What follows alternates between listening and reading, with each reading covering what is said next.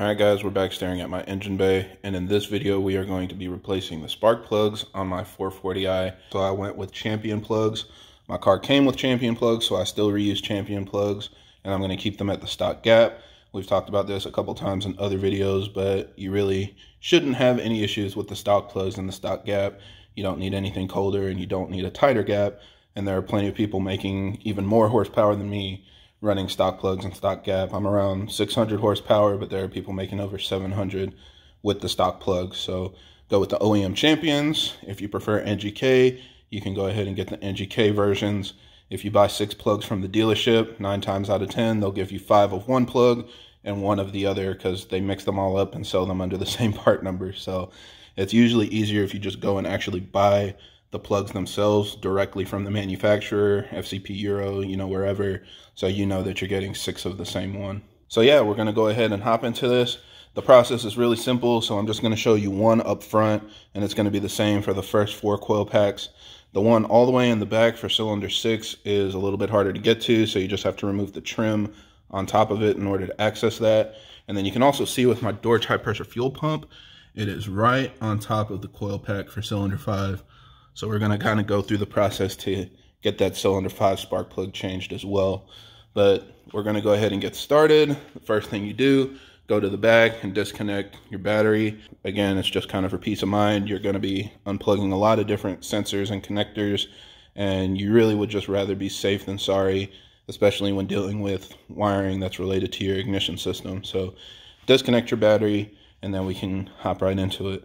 So for the coil packs, the first thing you want to do is pop up this clip that's on your connector. It's the same for pretty much any sensor on our cars. And then you push it in and pull it out. And then we're actually going to loosen the e-Torx bolt itself. It doesn't come all the way out. It actually stays on the coil pack, but we're just gonna back it all the way off. All right, so now we have everything loosened and disconnected. I went ahead and did the other four coil packs that are up front as well, just to keep everything streamlined and make it quicker, but we're still only going to remove one spark plug at a time. And it's really important at this point that you keep everything organized because we're going to go ahead and read our spark plugs. And spark plugs are pretty much one of the best ways to tell how healthy your engine is and how well your tune is running.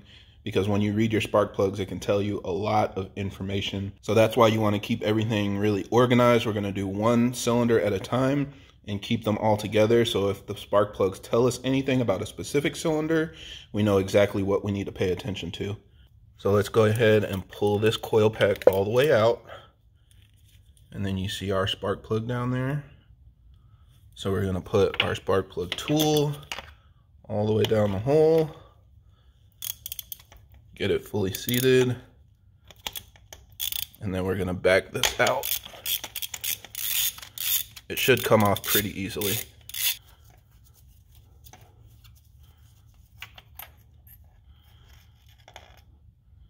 All right, so here we have the stock plug getting ready to go in, nice and shiny.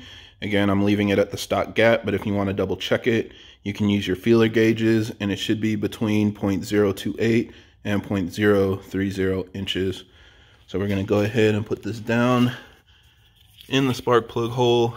I start everything by hand just because it's a little bit safer. And then we're gonna hand tighten it until you feel a little bit of resistance. And then once it's bottomed out, you can torque it down.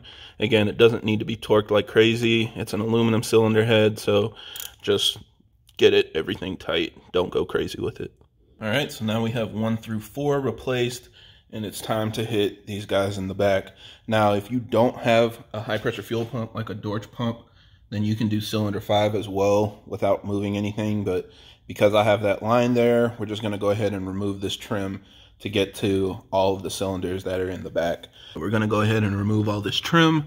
So you've got three 10 millimeter screws that you just need to give a quarter turn. And then you're gonna pop this off and pull it out of the way and do that to the other side as well. And then we're going to move this rubber gasket out of the way so these covers just rotate out and then you've got this wire that's going across the rubber gasket. So pull that out of the whole thing all the way down. And then you're gonna be able to simply pull this trim off of the plastic cover.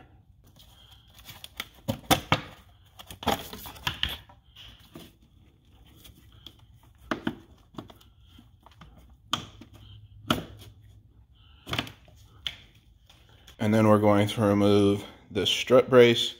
So you've got to pop off these covers that are underneath your wipers.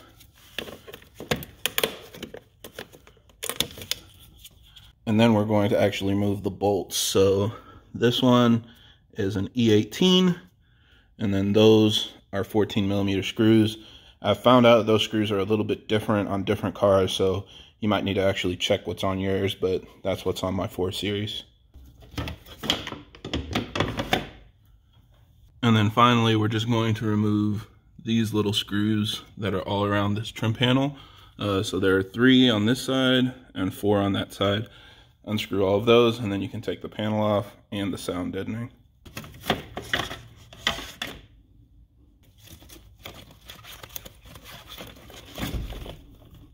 All right, so now that we have everything out of the way, you can see how much room we have to get to cylinder six. So again, this will be the same process, just unclip the coil pack, unscrew that E-Torx screw, pop off the coil pack, and then swap out your spark plug. All right, so now we have cylinder six swapped, and we're gonna go ahead and figure out cylinder five. So you can see I've unplugged it, and I've gone ahead and removed the screw. So let's see if we can wiggle this coil pack out.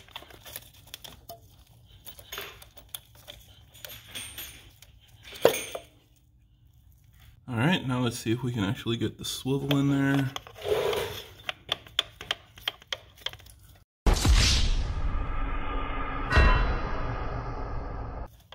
No, it looks like it's hitting too soon. This one, where the adjustment is, it's just a little bit too low. For the other locations, it works great, but to navigate around that Dorch line for cylinder 5, I need that adjustment point to be a little bit higher. So I went ahead and went back, got that plug tool, and just put a swivel on it. And you can see just that extra couple millimeters where the adjustment is, moving it up from here to here allows me to get the tool all the way down in the hole. And then right there I can feel the resistance. So I've actually got the plug and this is all the room that I have to actually wiggle it around. So it's definitely critical that you have an actual tool and then add a wobble on top of it to give you a little bit extra adjustment and that will allow you to get to cylinder 5 just fine. So yeah, I'm going to go ahead and remove this plug and then the installation is just the reverse of removal. Go ahead, remove all your plugs, swap them out. And then we're gonna go ahead and read them real quick just to make sure our engine is looking healthy. Oh, and one other thing is I'm putting this back together. So somebody gave me a tip. If you leave this sound deadening off the back of the engine, then you can actually access cylinder six without removing any trim. And BMW even gives you this little relief in the plastic. So you have like a little extra room to actually get your spark plug tool down there. So pretty nice if you're doing it the first time and you don't mind maybe having a little bit more high pressure fuel pump noise or something like that. You can leave the sound deadening off and that will make your spark plug changes a lot easier. All right, so the last step now is to go ahead and read our plugs. And this is a really important step that a lot of people skip because they don't really know what to look for.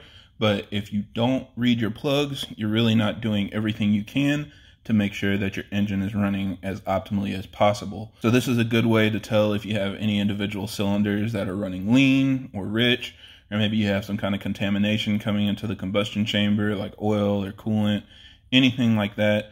The easiest way to tell is by reading your plugs. So just kind of line them up, cylinder one through cylinder six, and then start to go through each one and look at the tips and see if there's anything that you can see that indicates that there's a problem. Now, the first thing is, of course, just looking at wear. If you look at the tip of the electrode, you can see that it's still basically pointy and looks pretty much brand new. Um, I haven't had these plugs for a very long time, so they're actually not really worn out, just replacing them for this DIY.